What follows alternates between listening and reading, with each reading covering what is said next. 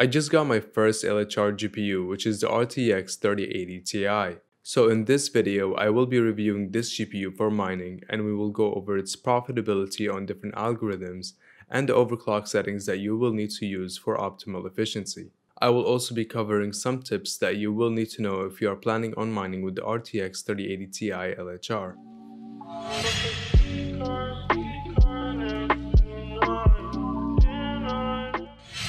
Hey everyone and welcome back to another mining chamber video. Before we get into the RTX 3080 Ti, I just want to go over a quick announcement for you guys.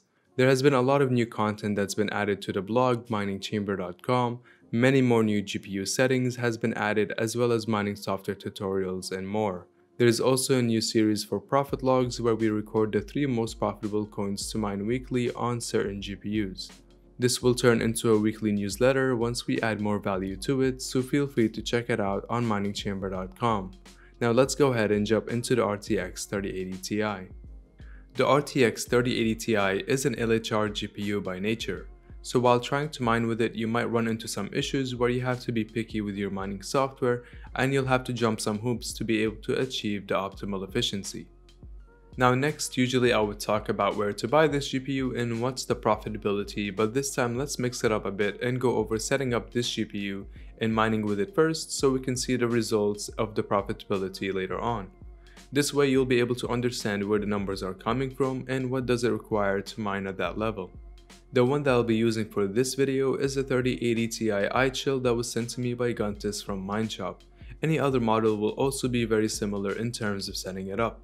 These cards are thick. With a larger size than an average human's behind, I'm sure some people will have clearance problems trying to fit them in some chassis or even frames. You can find dimensions for different models on Tech PowerUp if this is of any concern to you.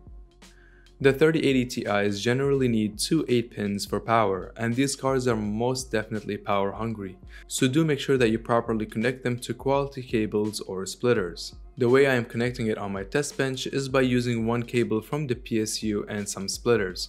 Now that is not the way that I recommend for mining 24-7 on these cards, especially if you are mining on a core intensive algorithm like KawPow. The safer way to power them is by connecting two PSU cables to one 3080 Ti or 3 PSU cables divided by two 3080 Ti's, just as the infographics demonstrate.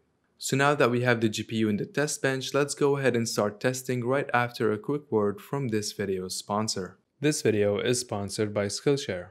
Skillshare is an online learning community with many great genres that vary from all sorts of creatives all the way to even cryptocurrency. If you are looking into starting a YouTube channel of your own or improve your creativity, then you will most definitely find a class on Skillshare that will push your skills to another level. Or if you are brand new to cryptocurrency world and would like to understand more details about cryptocurrency, then enrolling in the Demystifying Cryptocurrency class will be a great choice for you. There will be a one month free trial for anyone who signs up with the link in the descriptions below.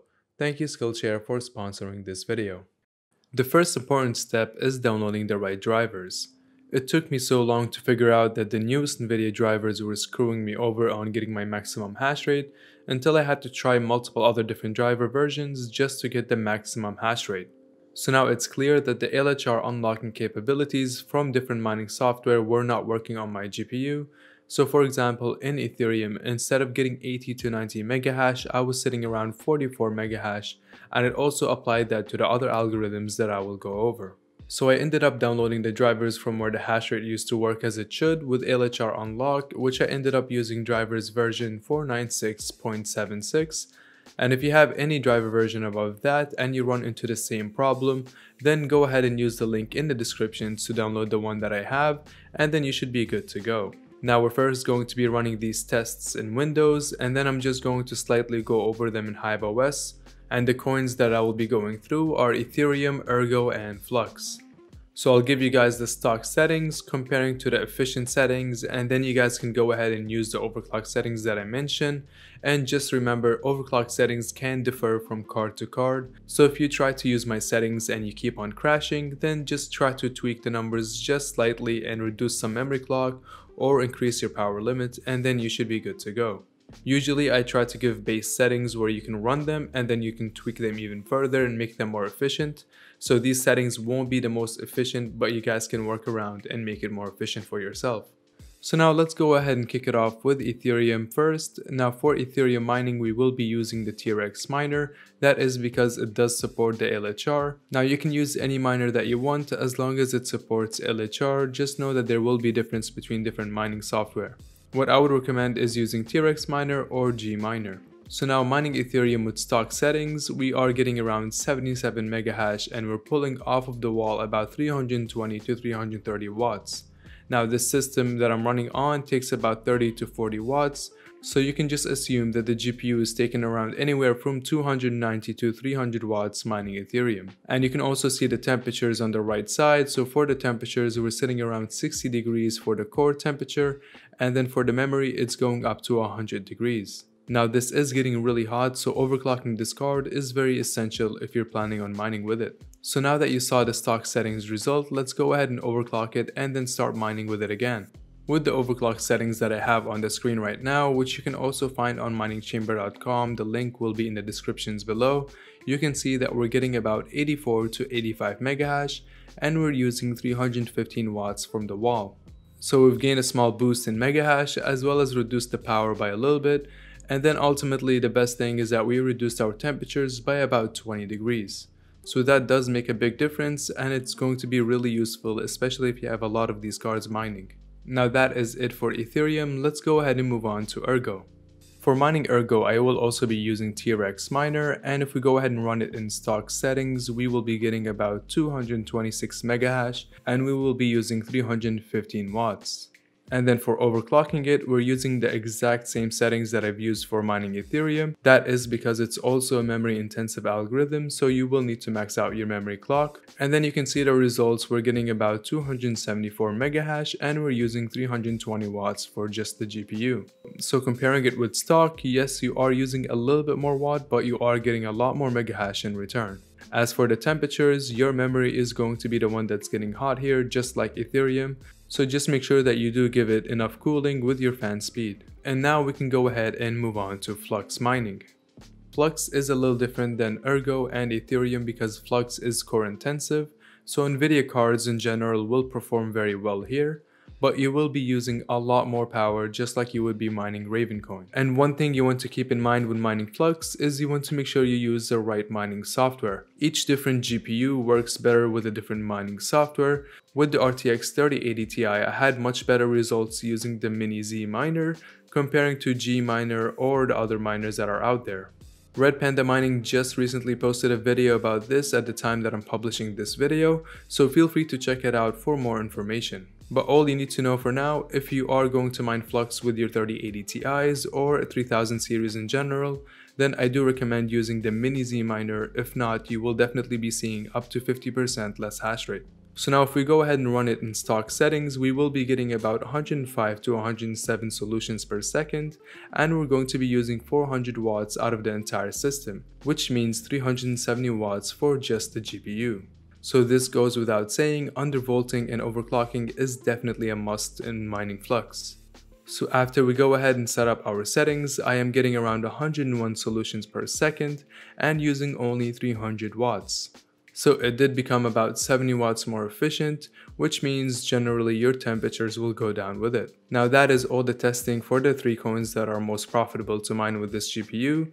Now if you're planning on taking this GPU to HiveOS or a Linux based mining operating system, then you'll just need to change the overclock settings a little bit. All you will need to do is just put the memory clock as doubled so if it's 1500 it will be 3000 in a Linux based mining operating system. That's because they use obsolete instead of offset, so that's why you'll have to put different settings. I also do have the settings on miningchamber.com wherever it says OR and then it has a number after that means it will be for a Linux based mining operating system. Now let's go ahead and talk about the profitability and how much money can you be making with the numbers that we just went over. But before we do that I just want to quickly touch over the BIOS modding and the thermal pads part of the 3080 Ti. There is a way right now where you can BIOS mod your 3080 Ti with a 3090 BIOS and then from there you'll be able to unlock up to 100 plus hash rate on Ethereum. Now this doesn't work on every 3080 Ti so you might break your card and then you'll have to recover it, but if you do want to try it you can feel free to go for this, just please be careful. And then there's also the thermal pads. If your GPU is getting too hot, you can go ahead and replace your thermal pads with better ones. For example, you can use Thermal Grizzly, which is known to have really good quality thermal pads that can reduce your memory temperatures by a good amount. So now for the profitability of the 3080 Ti, I'm going to go ahead and go to whattomine.com and then put all the results that we were able to get. So like that, we can get as accurate as possible. Just keep in mind that these mining profits always changed by the day, so you'll always have to double check and see what the profits are the time that you're watching this video. Now I will have these profitabilities linked in the mining chamber article. When you go to the 3080 Ti mining settings, you will see here the 3080 Ti mining profitability. So when you go ahead and open this link, you will get an up-to-date profitability based on the settings that we have covered. The hash rates will slightly be lower here since it's auto-generated, but you can still go ahead and click on that and you'll still have good amount of information there. So now if we go back to whattomine.com, we can see here mining Ethereum, we will be able to get about $4 a day without paying electricity. And then with electricity at 10 cents per kilowatt hour, we're going to be getting only $3.27. So per month, you're making almost $100 with mining with this GPU and then if you look at the other ones that we've covered, so we have here Ergo, which is getting you around $3.55, and then Flux is giving you around $3.36. Now Flux is a little special because you can get parallel assets, which means you will be getting more than just this, but I will be covering that in a different video. So now in general, looking at these numbers, you can average about $100 a month mining with this GPU, but then we also know that this GPU is very pricey, so let's go ahead and go over where to buy this card and whether it's worth buying it for mining or not. And that will not be a financial advice, it will just be my conclusion. So if you want to go shopping for this GPU, you can find it on Newegg, eBay, as well as Best Buy and many other sites out there. So finding stock for the LHR card won't be such a hard deal. Right now, if you want to buy it new from Newegg, you will be spending about $2,300 up to $3,000 in tax just to get the RTX 3080 Ti LHR. Which means if you want to go ahead and count how long it will take you to break even at the current profits, then let's say you make $100 a month, then that will take you at least 22 months to break even and that is if you're able to buy it at $2,200. And like I said, these numbers do change. Some months you'll be making a lot more crypto and some others you'll be making a lot less. But just a rough estimate, I would say you'd at least need one year to break even on an LHR card at this price. If you look around on eBay and the used marketplaces, maybe you can try to get it for $1,900, maybe $1,800 if you're lucky, and then there you'll have a much better deal. Now with the price tag and the profitability, it's honestly not that attractive of a deal to buy an LHR card and mine with it, but if you want to get one for your own PC and you also want to mine on the side, then it's not a bad deal for you. So that is it for the profitability as well as the prices to buy this card for. Now for the final conclusion, I don't think this card is a great deal right now for mining. Like I said, if you want to buy it for your personal PC, then it would not be a bad idea. But if you just want to build a full rig of these cards, then it might not be such a bright idea. Now that wraps up the video. Thank you guys so much for watching and let me know in the comments below if you have a 3080 Ti, what you're mining with it, and if you don't, are you planning on getting one? Next up, I will be covering the 3070 Ti LHR, and then I'll be covering a couple more GPUs from there. So thank you all again, and if you're new here, make sure to hit that subscribe button, and if you enjoyed this video, hit that thumbs up. I hope you guys have a wonderful day.